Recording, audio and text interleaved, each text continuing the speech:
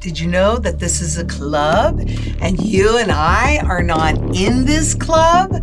But boy, those that are in this club, they play by a different set of rules and they keep playing until they get caught and then they change the rules just a little bit. Oh my goodness, who could know?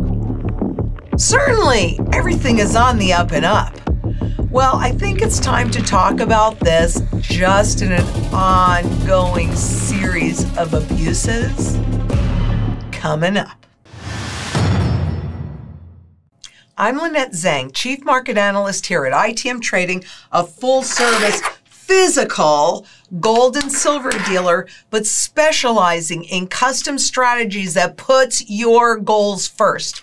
Now we already know what the goal of the whole, this whole transition is, which is a transfer of wealth, but you know, put your goals first for a change because if you're expecting the government or the central bank to do that, you are in for a very rude awakening. So what's happening? I'm going to take you just a teeny bit down memory lane. Remember when the Fed presidents were selling stocks and of course they're sitting there determining who's going to win and who's going to lose. And then, oh, well, they changed some of the ethics laws because apparently they didn't really think they needed to be particularly ethical before that.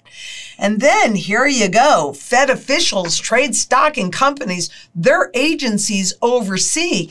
Hidden records show thousands of senior executive branch employees own shares of companies whose fates were directly affected by their employers' actions, a Wall Street and Journal investigation found. Aren't you shocked? And what's the latest? Oh my goodness. Dozens of federal judges had financial conflicts. Hmm. Isn't that interesting? So what are we seeing in all of these? But seriously, hidden interests that you and I don't know about. And by the way, you don't even elect the, the uh, judges. A Wall Street Journal investigation found that 152 federal judges around the nation have violated U.S. law and judicial ethics by overseeing 1,076 court cases involving companies in which they or their family owned stock. How shocked are you? Now, Clarence Thomas brought this more to the fore. But even so, more, most federal employees faced more oversight than Clarence Thomas and the Supreme Court. Ethics rules at U.S. agencies limit gifts and require disclosure. Hmm. But technically, all federal employees across the three branches of government are subject to the 1978 Ethics in Government Act because they have to put these into act. We certainly know these government officials. I don't know where their ethics are, but still, the consequences for ethical lapses vary widely. Members of Congress can be voted out of office. Executive branch workers face oversight ethics officers. And Supreme Court justices operate with no outside oversight. So, how do you feel about this? Seriously, how do you feel? Because the reality is, is the higher up you are, the more you should be accountable because you have more power to do harm. And particularly when we're looking at the Supreme Court, they have been doing a lot of harm by reducing our rights, the public rights, and they have no oversight. There were a number of coins that actually made it out of the mint, 1933 coins that made it out of the mint. Now, one of those coins ended up in, they think, King Farouk's hands. And a number of years ago, actually, I think it was 2002 or 2003, uh, an agent for the family that was holding that coin negotiated with our government that made it legal tender. It's a $20 gold piece like this, just a different date, made it legal tender.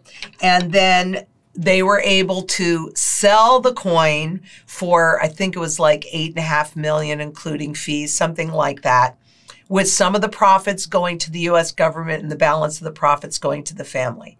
A number of years later, uh, after a jeweler died, uh, they opened up his safe deposit box, and guess what? They found 10 more of the 1933s. The family, rather than getting a negotiator like King Farouk's family did, the family sent the coins to the mint for authentication. They didn't get them back. There are lots of court cases, but ultimately, the U.S. Supreme Court will not take up the case involving ownership of 10 1933 St. Gaudens $20 double eagles, meaning the coins will remain in the property of the federal government well, what we're talking about here are not 1933 coins, but they are in the collectible category. According to the Bank for International Settlements, physical gold in your possession is not subject to geopolitical risk and runs no counterparty risk. I don't have 1933s that are at risk. I have other dates. There are many more of those out there, but there's still a finite amount. But like they did back in 1933, where they wrote the laws that enabled those that understood them to hold on to their goals or families to negotiate maintaining it many, many years later. For me, with my uncle and his two safes packed with pre 1933 $20 gold coins. That's where I put my money and hold my wealth. It's a true supply and demand market. It levels the playing field. So if you haven't done this yet, you want to make sure that you watch last week's video on the hidden dangers behind the debt crisis and start your gold and silver strategy. Put your goals first. If you need some help defining your goals, we're here to be of service. So click that Calendly link below and give us a call. Set up a time to talk to one of our consultants because physical gold and silver in your possession is your wealth shield. Anything that's in fiat, stocks, bonds, annuities, ETFs, cash, any of that they are intentionally destroying what little teeny bit is left in the purchasing power. And this is a con game. It's only public confidence is the only level of confidence left.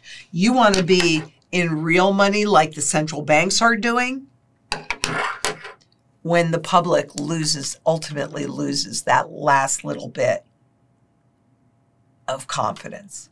So if you haven't already, please make sure you subscribe. If you like this, give us a thumbs up, leave us a comment, share, share, share. The playing field is not level. This levels it. This levels it. And until next we meet, please be safe out there. Bye bye.